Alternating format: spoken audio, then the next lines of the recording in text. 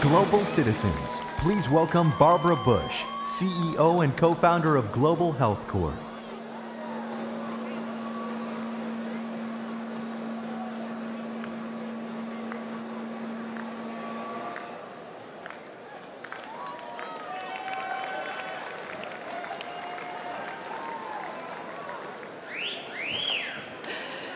Good evening. First of all, I want to say a huge, huge thank you to Elvis Costello.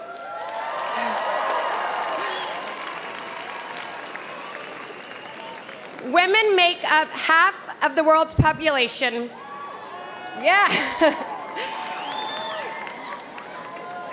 Yet they represent 70% of the world's poor. And many are discriminated against simply because they were born a girl. We are fighting to make girls and women the core priority of the new development agenda.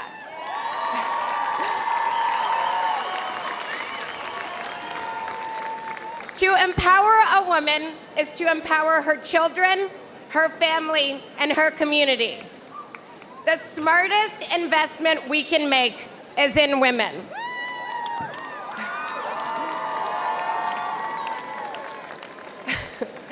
Women must have the freedom and the possibility to decide who they are. To help address these concerns, we're focusing on three key issues. First, we are asking world leaders to put the equality of women and girls at the forefront of our agenda to end poverty. Secondly, we want to bring the private sector together to assist the 222 million women who do not have access to family planning. And, and lastly, we will improve access to clean water and sanitation. The lack of which keeps girls out of school and women out of the workforce.